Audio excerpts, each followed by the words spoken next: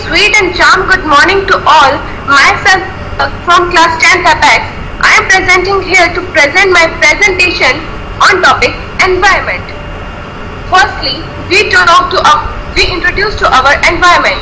What do you mean by environment? Environment means anything that surrounds us.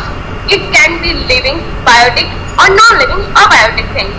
It includes physical, chemical and other natural forces.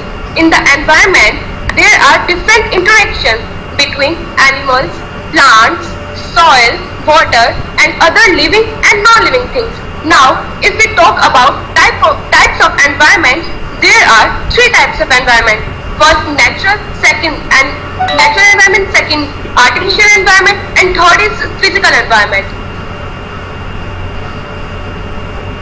Now, now we explain natural environment. What do you mean by natural environment?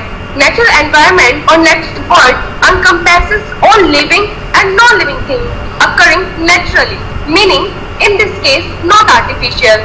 This environment encompasses the interaction of all living species, climate, weather and natural resources that affect human survival and economic activity. Secondly, our type is artificial environment. It is an environment that encompasses the interaction of all living species along with biotic and abiotic compounds. Artificial environment is formed as a result of human modification in the natural environment. And the third and the last type of environment is physical environment. The physical environment is where individuals live, learn, work and play. People interact with their physical environment so the air they breathe, water they drink, houses they live in and the transportation they access to travel to work and school.